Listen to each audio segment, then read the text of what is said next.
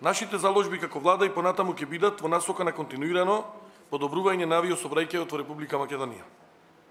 За таа цел ќе се обидеме и Охридскиот аеродром да го промовираме во аеродром за нискобуџетни компании кои ќе нудат ефтини летови за бројни атрактивни дестинации. Самата одлука на Визер да базира уште еден воздухоплов во македонскиот на македонскиот аеродром, а покажува дека македонското воздухопловство е стабилно и дека има потенцијал за раст. Со поставувањето на четвртиот воздухоплов во базата во Скопје, авиокомпанијата додава и три нови дестинации: Ваксио, Шведска, Малта и Рим,